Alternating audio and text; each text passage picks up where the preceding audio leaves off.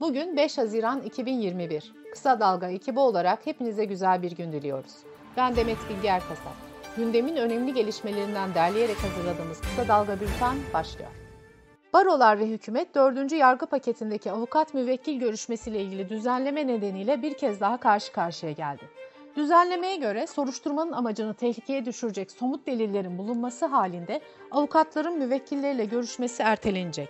AKP kurmayları bu maddeyi soruşturmanın daha sağlıklı ilerlemesi için pakete koyduklarını söylüyor. Barolar ise bu durumu savunma hakkına darbe olarak yorumluyor.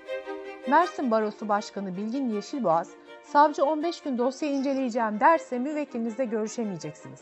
İfade alındı mı, baskı gördü mü, işkence oldu mu bilmeyeceksiniz. Bu hem emniyeti hem savcılığı zan altında bırakır hem de hukuku ayaklar altına alır dedi. Mecliste kurulan Küresel İklim Değişikliğini Araştırma Komisyonu'nda çok çarpıcı bir rapor gündeme geldi. Rapora göre Türkiye'de 2015, 2016 ve 2017 yıllarında 17.900 maden açıldı. 3 yıllık dönemde 146.000 hektar yani 205 bin futbol sahası alan orman niteliğini kaybetti. Vatan Partisi Genel Başkanı Doğu Perinçek kendisine ülkücü katili diyen Sedat Peker hakkında suç duyurusunda bulundu. Dilekçede Peker'in IP adresinin tespiti istendi. Savcılık Peker hakkında hakaret suçundan soruşturma başlattı.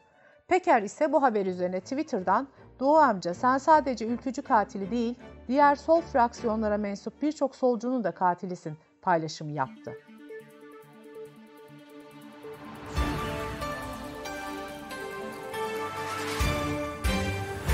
Muharrem İnce'nin genel başkanlığında kurulan Memleket Partisi, CHP'den istifa eden 3 vekilin katılımıyla mecliste sandalye sahibi oldu. Böylece mecliste temsil edilen parti sayısı 13'e çıktı. ODTÜ araştırma gemisi Bilim 2, Marmara Denizi'ndeki müsilaj sorunu 3 gündür yerinde inceliyor. 15 bilim insanı 4 gün daha inceleme yaptıktan sonra verileri Çevre ve Şehircilik Bakanlığı'na sunacak. Profesör Barış Salihoğlu, durumun vehametini böyle bir durumla hiç karşılaşmamıştık, acilen önlem almamız gerekiyor sözleriyle aktardı.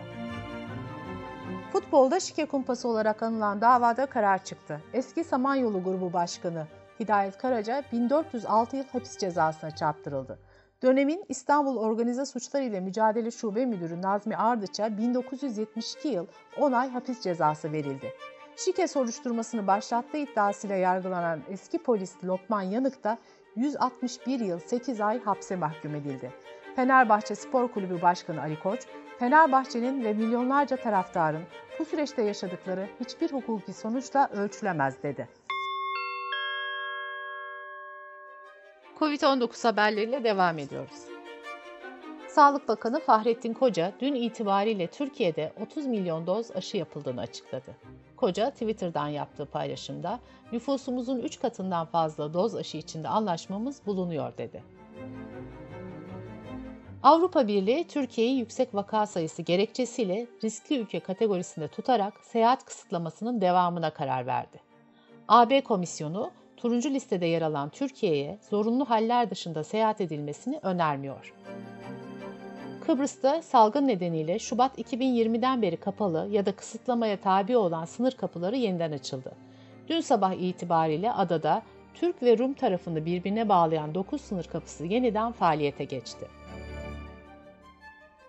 Nüfusunun yaklaşık %23'ünün aşılandığı İtalya'da aşılama programı 12 yaş üstü herkese açıldı. Avrupa İlaç Kurumu geçen hafta Pfizer-BioNTech aşısının 12-15 yaş arasında kullanımına onay vermişti. Sırada ekonomi haberleri var.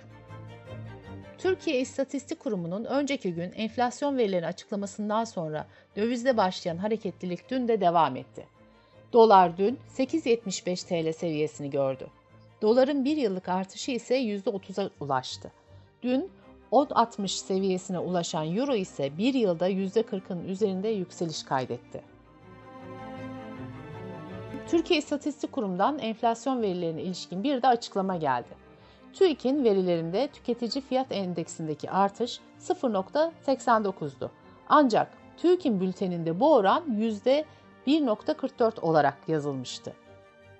Yapılan açıklamada kurum içi bir çalışmanın sehven yayımlandığı belirtilerek konuyla ilgili inceleme başlatıldığı duyuruldu. Dış politika ve dünyadan gelişmelerle devam ediyoruz. Meclis Dışişleri Komisyonu Başkanı ve AKP İstanbul Milletvekili Akif Çağatay Kılıç, 14 Haziran'daki Biden-Erdoğan görüşmesi öncesi açıklamalarda bulundu. Kılıç, Türkiye ile Amerika arasındaki kritik başlıklardan biri olan S-400'lerin kullanımına Türkiye'nin karar vereceğini belirterek bu konu artık bizim için kapanmıştır dedi. Kılıç, Türkiye'nin Rusya ile ilişkilerinin ABD'ye alternatif olmadığını söyledi. Cumhurbaşkanı Erdoğan'ın TRT yayınında söylediği 3 doz aşı oldum açıklaması dünya basınının da gündemine girdi. İngiltere'de yayınlanan The Times gazetesi Erdoğan'ın 3. doz olduğunu itiraf eden ilk dünya lideri olduğuna dikkat çektiği haberinde Türkiye'deki eleştirilere de yer verdi. NASA adına uzay taşımacılığı yapan SpaceX, uluslararası uzay istasyonuna kargo taşıyan roketini fırlattı. 3300 kiloluk kargonun içinde deneylerde kullanılmak üzere su ayıları, kalamar, şili biberi ve pamuk fideleri bulunuyor. Bilim insanları hayvanların uyum sağlama yeteneğinin arkasındaki genleri tanımlayarak uzay konaklamaları sırasında insan vücudundaki stresleri daha iyi anlamayı umuyor. Bültenimizi kısa dalgadan bir öneriyle bitiriyoruz. Gazeteci Timur Soykan dava dosyalarını inceleyerek bir seri katilin cinayetlerinin 4 bölümlük hikayesini anlattı. Issız Cinayetler podcast serimizi kısa dalga.net adresimizden dinleyebilirsiniz. Gözünüz kulağınız bizde olsun. Kısa Dalga Medya.